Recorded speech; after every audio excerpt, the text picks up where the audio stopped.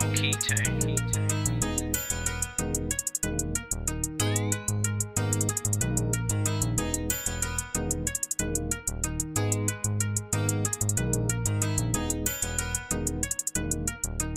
She said she wanna keep this shit low key. Cause her boyfriend listen to my music and he know me. 50 PlayStation 5s, it's like I gotta deal with Sony. I'm eating good every day, it's like I gotta deal with Coney. Where the thick hoes at?